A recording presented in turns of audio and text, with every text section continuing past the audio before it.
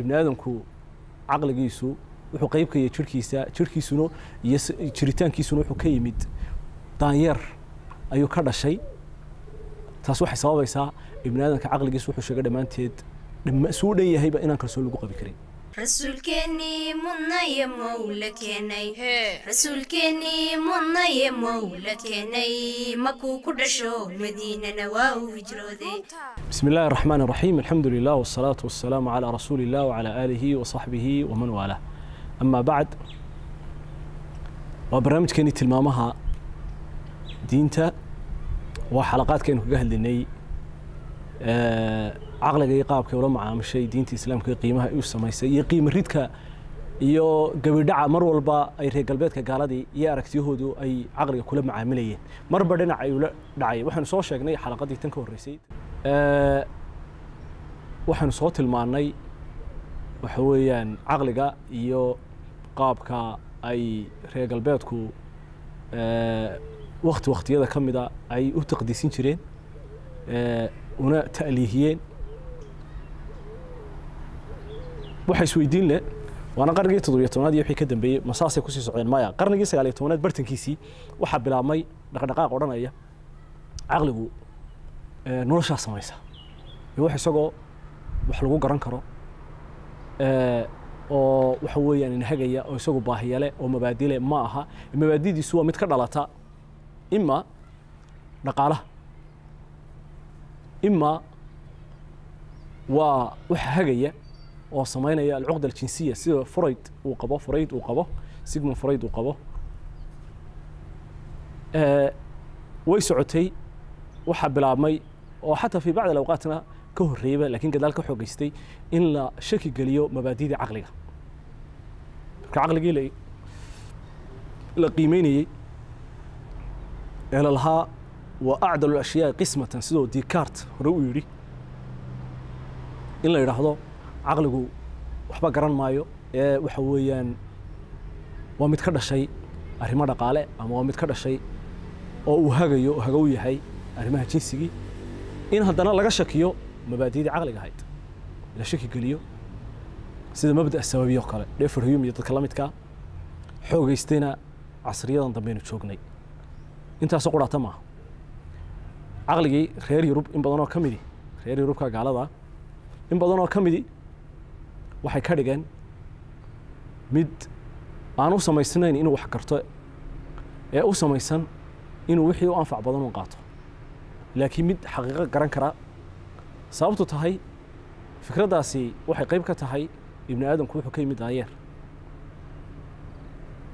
waana tadawur buu ku jiray iyo floshin iyo horu socod sidaa ogeed caqligu ma noqon karo mid wax garanaya ama shaki baa gelaya inuu noqdo mastar alxaqiiqa.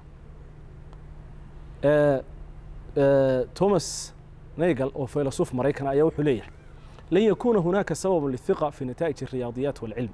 Ma jirto oo meesha ma taallo sabab keenaysa inaan kalsooni ku qabno natiijooyinka ka dhasha xisaabaha iyo sayniska. Wamaa kaanat alfaradiya altadawuriya muctamida cala alaqal فستكون بذلك ضرورة مقوضة لنفسها حليهي ما دام وينو قبله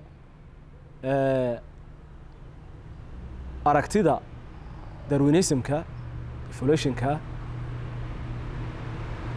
mid caqliga ku taagan maadaama caqliga ka dhalatay caqligii way duminaysaa buu leeyahy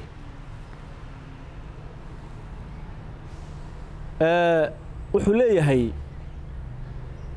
waxa weeyaan john garay oo isna nin xidida ولكن إذا كانت نظرية داروين في الانتقاء الطبيعي صحيحة فسيكون الأمر السابق مستحيلا حليهي هدي أركتida داروينسمku ay saxan tahay arrinkii hore wuxuu noqon doonaa shay aan suuragal ahayn إن العقل البشري يخدم النجاح التطوري وليس الحقيقة caqliga ibni aadamku looma samayn oo umana shaqaynayo horumarka ana yani waxaan ahayn horumarka iyo fikradda darweynisamka yani ee odhanaysa ibni aadamku waa xayawaan hore maray ee uma samaysno inuu xaqiiqada garto iyagaynu weydiinaynaa markaa darweynisamku xaqiiqa ah leanna maxaa ku garateen caqligaa ku garatay caqligana waxaad tidhahdeen waxba laguma garan karo maxay xaqiiqa laguma garan karo سام هارس ayaa wuxuu leeyahay لم يتم تصميم حدث المنطقي والرياضي والجسدي عن طريق الانتقاء الطبيعي لتتبع الحقيقة isna waa mulxidiinta aragtida reer galbeedka hogaamiyaashooda ka mid ah. Wuxuu leeyahay caqligeen iyo garashadeenu uma samaysna ee ka timid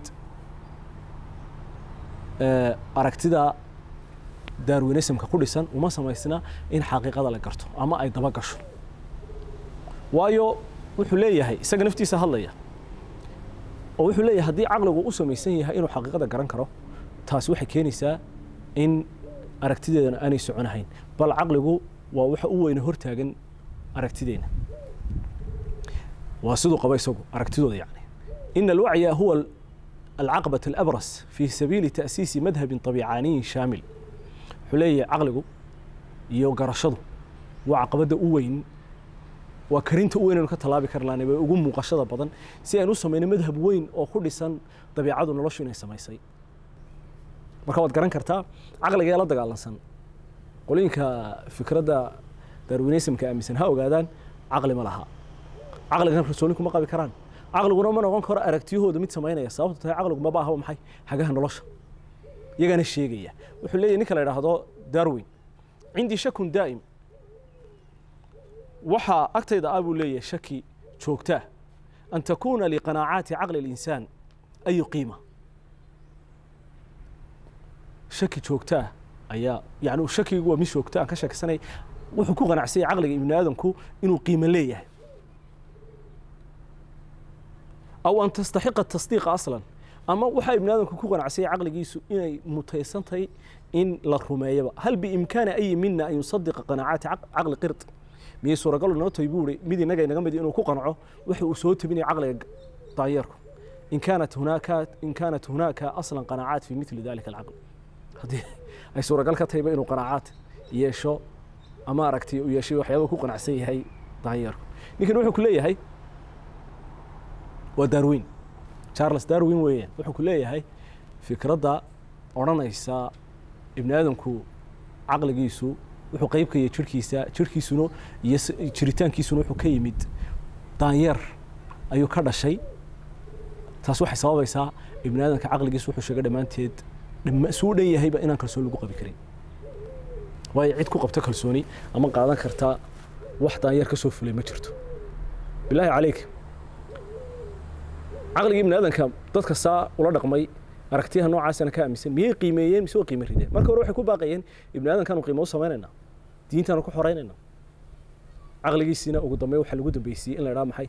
Waa caqlu qird waa caqligii oo caqligii lagu duminayo waa caqli daanyeer raggii fikradda lahaa baa saale.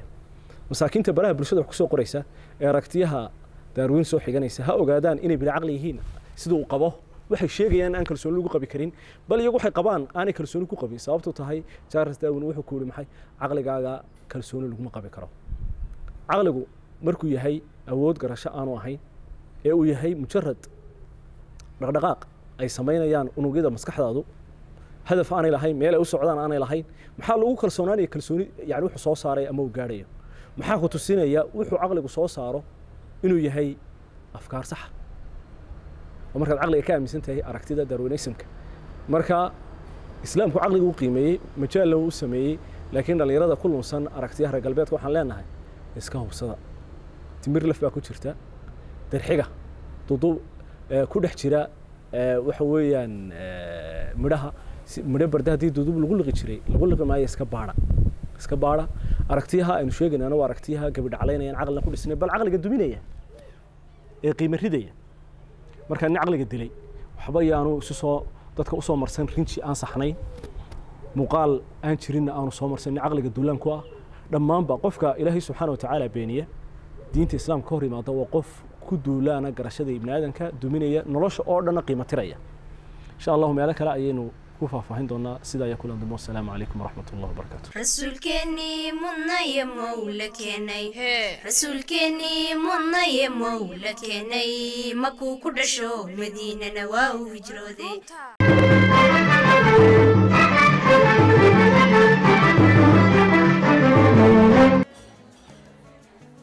واو اسبوع كيسو في عايز صاحبي waad ka heshay sooma ما شاء الله صح ما عاد كش بسيط waxaan ku shubtay xidhmo furan toban doolar baad ku shuban kartaa shan baad ku shuban kartaa shan iyo toban baad ku shuban kartaa labaatan baad ku shuban kartaa